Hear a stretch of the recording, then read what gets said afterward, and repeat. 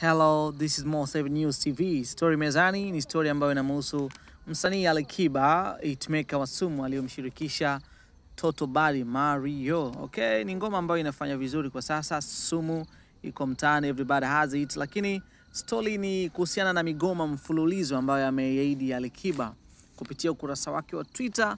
Ameandika, nimeamka na email from Spotify kwamba my release ipo tayari, migoma mfululu anauliza iendelee au tuache sumu kwanza.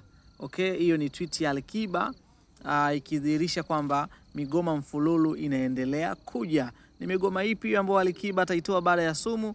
Tuendelee ku, kupitia social networks zake uh, kuwa karibu na YouTube yake, lakini pia kuwa karibu na Mo7 News TV kwa sababu tutakuweka karibu na kila update ambayo inahusiana na burudani na matukio mbalimbali yanayohusu uh, wasanii lakini pia jambo kubwa zaidi kwenye burudani sasa hivi uh, ukiachana na sumu ya Alikiba, kuna ngoma inaitwa Enjoy ya kwake Juksi aliyomshirikisha Diamond Platnumz na ambayo inafanya vizuri pia.